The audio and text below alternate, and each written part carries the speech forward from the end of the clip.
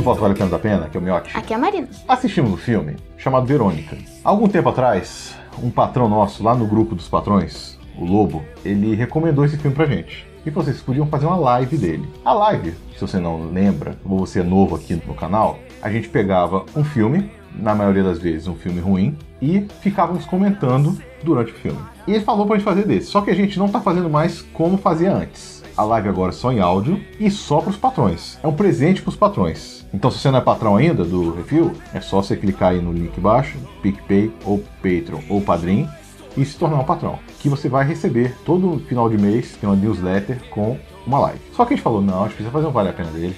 Por que é importante falar desse filme? Porque esse filme é uma obra de arte. É mesmo.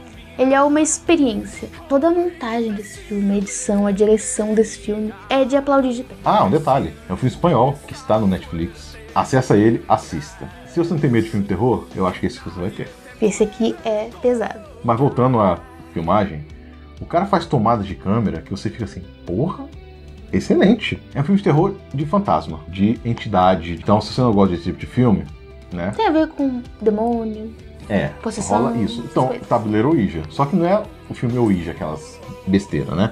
É totalmente diferente, é uma coisa muito bem feita. Você sonhou, não foi? Eu sonhei com esse negócio. credo, sério, E credo. você é acostumado desde criança a assistir filme de terror. E eu né? gosto, eu gosto muito de filme de terror, mas eu fiquei assim. Porque ele não é um filme, ele te dá susto algumas vezes, Aham. assim. Mas o- o medo não tá aí, É.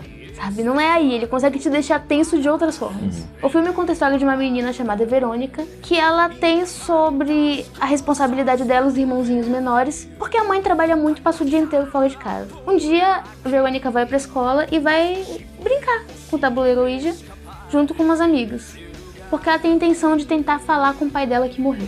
Só que nisso o ritual dá errado. Dá muito alguma certo, co- na verdade, Na verdade, dá muito certo. E alguma coisa acontece. E tem criancinhas no filme. Assim, tem uma cena lá com, com as crianças, que é um plano de sequência deles numa rodinha, e as crianças são muito boas, porque a criança é novinha. Fotografia do filme, roteiro, até o jumpscare dele não é exagerado. É um filme que surpreendeu.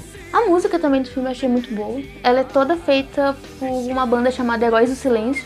Uma banda espanhola mesmo. E, e ela tá bem em destaque, né? Tá, tipo, tá na- no nas blusas da menina, nos pôsteres do quarto dela, Ah. tá aparecendo ali o tempo inteiro. E eu acho que é um conjunto da obra que funcionou muito bem. Tipo, a música casando com os momentos de tensão, a atuação dos meninos ali, porque que essas crianças são do mal, assim, realmente É. elas fizeram um papel de assustar mesmo. Junto com a menina mais velha e as escolhas do diretor. Até os efeitos do filme são muito bons pra um filme independente. É muito melhor que muito blockbuster que eu já vi. Muito melhor, porra, muito melhor mesmo. E como você falou, a montagem. No começo do filme já começa um negocinho já parece outra coisa. Você fala assim, pô, você nem percebeu que é montagem, sabe? Uhum. Parece que tá rolando ali mesmo. Então esse, nesses detalhezinhos, ele foi muito bem trabalhado. Muito. Dá sua nota, Eu vou dar 5. sem dúvida. Tem que ser 5. Eu fico muito triste de não ter visto no cinema, de ele não ter ido pro cinema, sabe? Pois é. Porque deve ser uma experiência muito boa, ver naquela tela gigante. Mas. Os bosta que estão é. lançando por aí podia ter isso daí, né? Eles lançam tanta coisa ruim. Pois Quanto é. filme de terror russo ruim que a gente já não viu? Putz, Eu queria preferia ter visto esse espanhol. claro. Com certeza. Com certeza. Fico muito agradecida por essa recomendação. É, Lobo, valeu mesmo, viu?